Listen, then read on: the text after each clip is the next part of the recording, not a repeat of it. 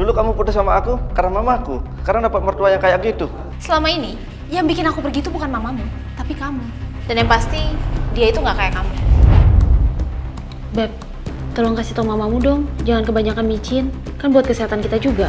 Namanya juga orang tua, udah biasa kayak gitu. Udahlah, jangan banyak ngeluh.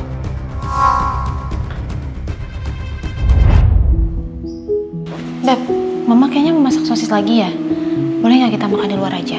Udah, serahin aja sama aku. Mah, hari ini mama nggak usah masak ya.